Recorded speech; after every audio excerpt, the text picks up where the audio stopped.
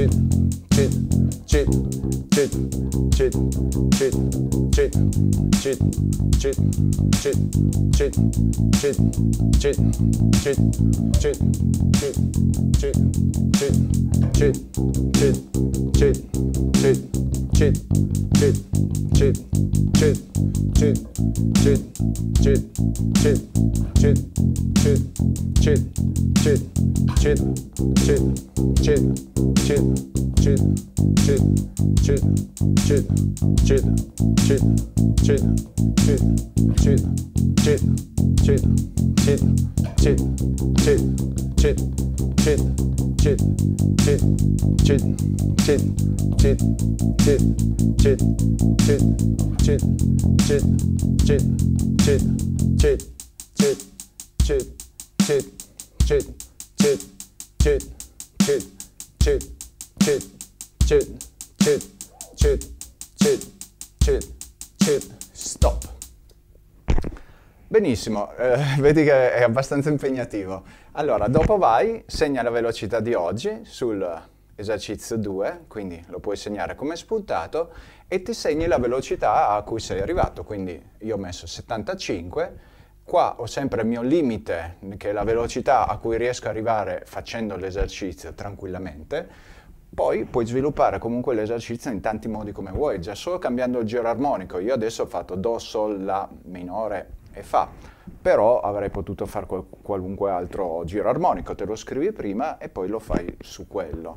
Eh, nel 3 estrapoli le lettere che ti danno più problemi, quindi ad esempio la J, quella con i due levari di sedicesima sul secondo e sul quarto, che è particolarmente impegnativa, puoi metterti eh, lì a provare solo quella, anche magari vai a velocità più bassa o comunque qua hai la possibilità sempre di segnartela in modo da cercare di migliorare soltanto su un, su, su un aspetto solo e poi metterlo nel complesso di tutto l'esercizio.